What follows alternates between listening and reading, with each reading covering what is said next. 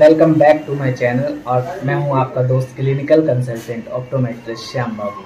आप देख रहे हैं Yashoda Devi eye care YouTube channel आपका हमारे यूट्यूब चैनल पे बहुत अधिक स्वागत है। तो फिर से हम आ गए हैं एक नई वीडियो को लेके। तो आज की वीडियो में हम आपको बताएँगे कि टेबल आज कैंप लगाया था, जिसमें कि 200 मरीजों की हम लोगों ने निःशुल्क जाँच एवं परामर्श दिया था। तो चलिए देखते हैं कि वीडियो कैसी लगती है। अगर आपको वीडियो पसंद आए तो प्लीज़ इसे लाइक करिएगा और हमारे चैनल ईश्वरा देवी आई को सब्सक्राइब करिएगा। तो चलते हैं वीडियो की ओर।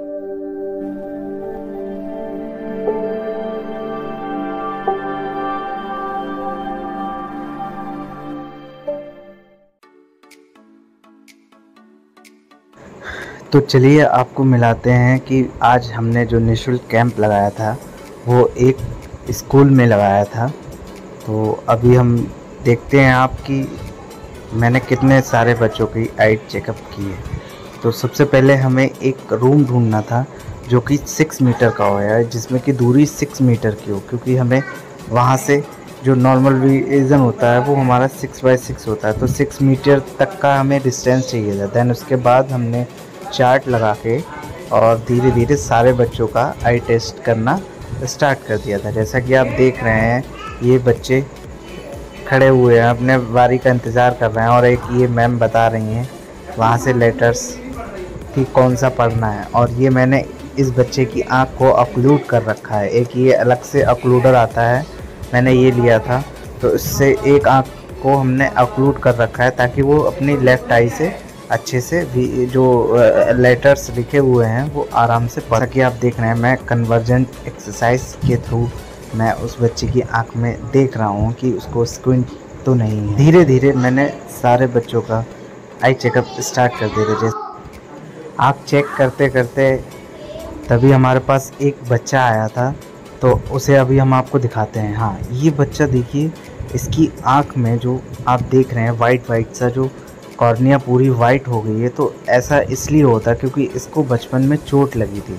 चोट लगने के कारण जो उसकी कॉर्निया थी वो पूरी ओपेसिटी से भर गई थी यानी कि पूरी सफ़ेदी आ गई कॉर्निया पे ओपेसिटी आ जाती है उसमें कुछ ऐसी ओपेसिटीज़ होती हैं जिनका ट्रीटमेंट नहीं होता। अगर वो एक बार ख़राब हो जाती है तो वो जल्दी सही नहीं होती। वैसा ही इस बच्चे के साथ भी था। इसकी एक आँख बिल्कुल जो कि नष्ट हो चुकी थी और जो राइट वाली आई है वो बिल्कुल सही राइट वाली आई से काफ़ी अच्छे तरीके से पढ़ पा रहे उसके बाद हम लोग धीरे धीरे और बच्चों के आई टेस्ट के लिए आगे कैंप लगा रहे थे।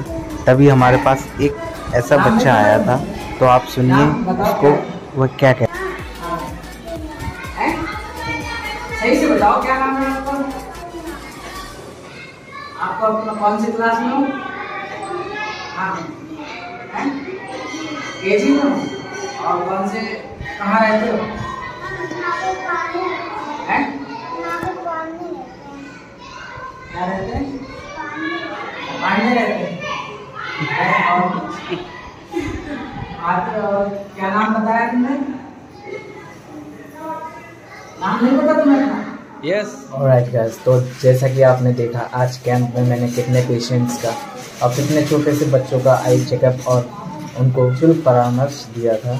लेकिन इन सब में सबसे ज़्यादा जो मुझे पेशेंट्स वगैरह मिले थे तो वो एम्ब्लोपिक थे, जिन्हें पता ही नहीं था एम्ब्लोपिक पेशेंट थे। अब मैं आपको बता दूँ एम्ब्लोपिया क्या होता है? एम्ब्लोपिया ये होता है कि एक आँख का दिमाग के जो सेंस होते हैं, जहाँ हमारा जो विज़न होता है, वहाँ तक नहीं पहुँच पाता है। धीरे धीरे वह आँख तिरछी होने लगती है, जिसे हम लेजी आई या एम्ब्लोपिया कहते हैं। तो वो बहुत से बच्चों में देखने को मिला, जिन्हें पता ही नहीं था कि उनको इस चीज़ की दिक्कत है। तो हमने उसका सोल्यूशन भी बताया था कि वह एक आँख बंद करके, जो नॉर्मल आई है, उसको बंद करके, जो एम्ब्लोपिक आई है, उससे ज़्यादा काम करेंगे। धीरे धीरे वह अपने पहले जैसे रूप में आ जाएगी।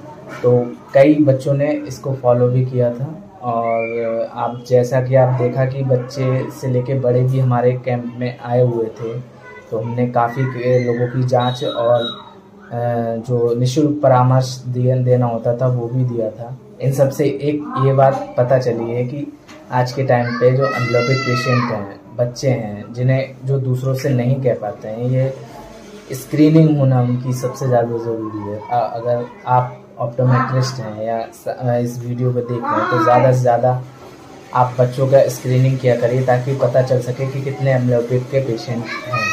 अगर आप नॉर्मल भी हैं आप इस प्रोफेशन से नहीं हैं तो आप जो सिम्टम्स हैं, आप वो चेक करके हमें कमेंट में बता सकते हैं। तो हम आपको सजेस्ट करेंगे कि उसमें आपको क्या करना है, क्या तो उम्मीद है कि वीडियो में आपको मज़ा आया होगा और हमारी वीडियो अच्छी लगी होगी तो प्लीज़ हमारे चैनल यशोदा देवी आई को सब्सक्राइब करें और यूट्यूब वीडियो को ज़्यादा से ज़्यादा शेयर करें, क्योंकि आपका एक शेयर किसी की आँख की रोशनी बचा सकता है। मिलते हैं अगले वीडियो में नए टॉपिक के साथ, तब तक के लिए नमस्कार।